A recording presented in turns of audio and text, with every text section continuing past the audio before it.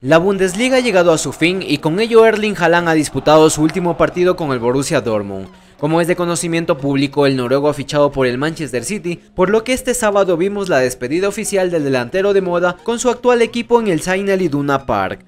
Haaland se despidió de la mejor manera, marcando su último gol ante su afición.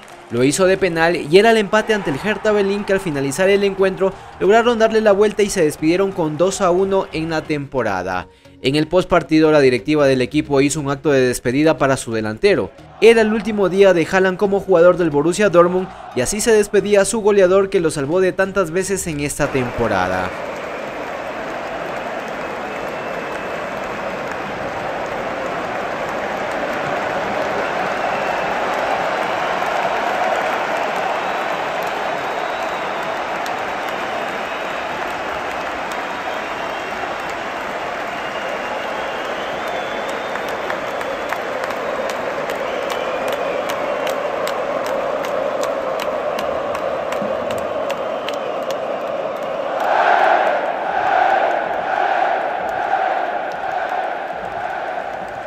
En otro partido decisivo en este cierre fue la victoria del Stuttgart ante el Colonia, un 2 a 1 conseguido en los tiempos extras que le permite al conjunto local por diferencia de goles permanecer en primera división y mandar al Hertha Berlín a disputar los playoffs del descenso.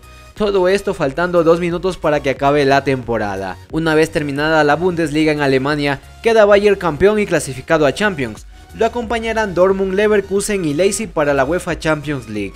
En la parte baja de la tabla, el Hertha Berlín, como ya lo dije, disputará los playoffs del descenso, mientras que Arminia y Furt ya están sentenciados y han perdido la categoría y en la próxima temporada tendrán que jugar en segunda división.